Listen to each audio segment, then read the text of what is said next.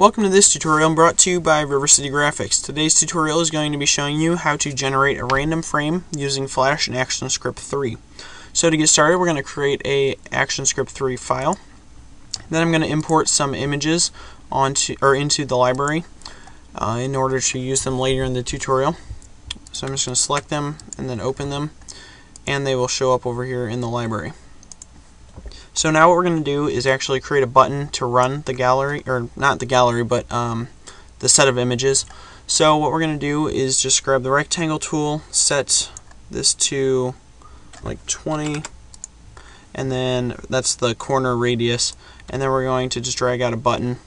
Doesn't have to be perfect, but it just needs to work so we can attach ActionScript to it.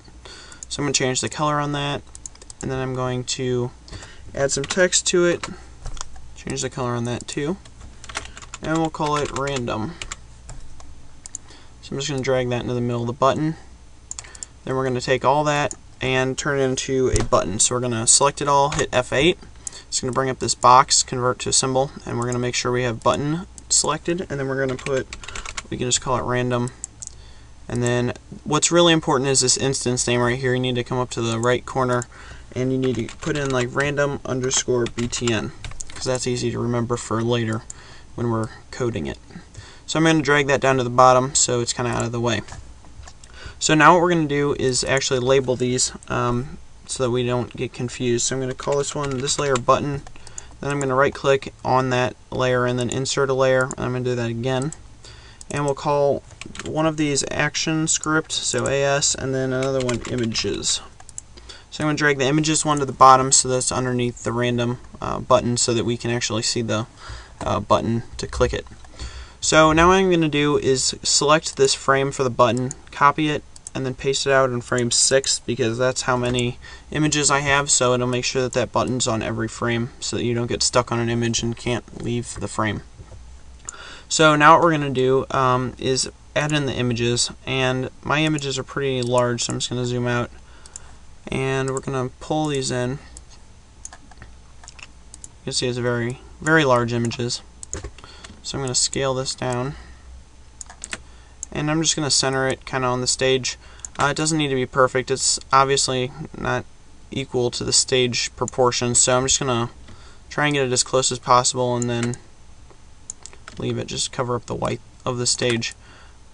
And now what I'm going to do is I'm going to insert a blank keyframe on the next frame and then I'm going to add an image on that and then keep going on that. So I'm going to pause the video so you guys don't have to watch me continue to scale these images um, and I'll see you in a second.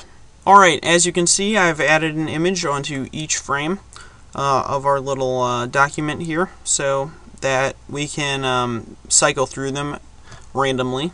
So what we're ready to do next is actually add ActionScript. So I'm going to click on the first uh, layer of our action script layer, or our first frame of our action script layer. Then click on the Actions Frame um, palette here. And then our first action is actually going to be a stop action. So stop, open close parentheses, semicolon. And that's basically going to just stop it uh, whenever you get to uh, the new frame so that it doesn't keep zooming through the images so you have time to look at them. So I'm going to hit enter a couple times.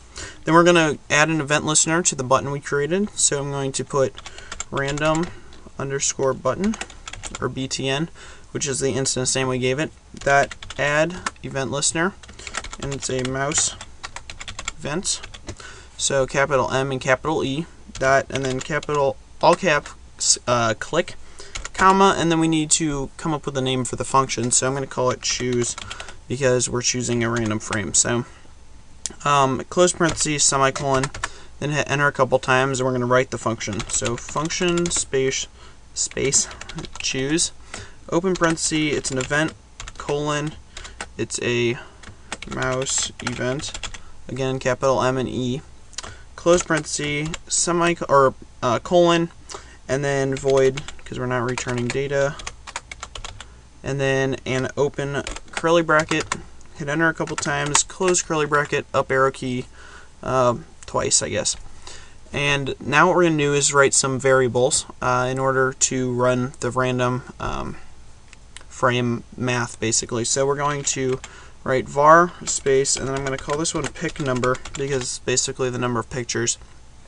then space, colon, space, and then it's going to be a number with a capital N, space equal space, and then I'm going to put how many pictures I have, and since I have six pictures, I'm just going to write six, and then a colon, or a semicolon, and then I'm going to hit enter, and we're going to make another variable, and this one's going to be var space, and then we'll just call it random frame,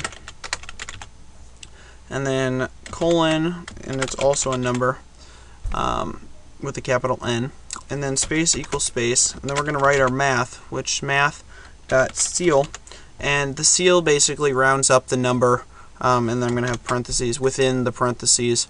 Um, you can have it say floor, which I think is round down, and um, there's some other ones uh, that you can use, um, but we're using the round up function for this um, because we don't, if it's a decimal, we don't want it to round down to zero because there is no zero frame. So that would be a problem. So we want to make sure it rounds up.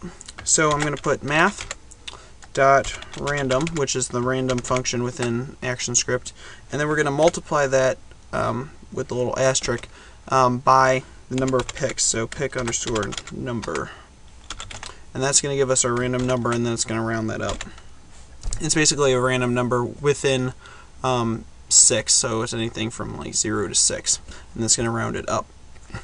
So I'm going to hit uh, enter again, and what we're going to do so that you guys can kind of see what's happening, I'm going to actually trace out this statement. So I'm going to hold, I'm going to press uh, or type in trace and then parenthesis random frame. And trace is a good thing to use in uh, documents. Um, like where you need to see what's happening because if you have a problem it's easier to diagnose it if you can tell where it's happening so if you can trace a word or a variable or something like that um, it might be easier for you to determine the problem so I'm using that just so you guys can see what it does and um, it's pretty helpful in this so I'm going to hit enter again and then we actually need basically once you click on the button we want it to do something so it's actually going to run this variable um, which is random frame. So we're going to say um, go to and, and then we're going to say stop so it doesn't play through them. Um, go to and stop, and then random frame, close parenthesis, semicolon. So now it should be working. Um, let's do control test movie. It's making the SWF. It's exporting it. Alright, so you can see it seems to be working okay. We didn't get any immediate errors. And then I'm going to click on this. And you can see over here in the trace, which is, it goes to output, um, that's what trace does, you can see that it chose the number 3 from that math. And then it went to frame 3. And now it went to 2, 5, 6, 6, 6 again, 5, 1. And you can see that it randomly goes through all of the images. I mean, it doesn't really have a set path. Um, so you can see where this could be easily used for some documents. Um, if you wanted to start uh, an image gallery on a random image so that every time users come to your site, it doesn't look the same.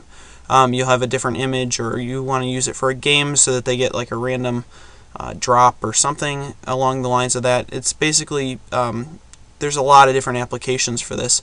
Um, so if you wanted to use it that's basically how you can get started um, making the generator. So um, I hope you guys learned some stuff in this tutorial um, about ActionScript 3 and random frames. Um, if you want the ActionScript uh, code for this, uh, it'll be on my website. Um, and I hope that you guys uh, subscribe, rate, and comment, and I'll see you next week. Thanks.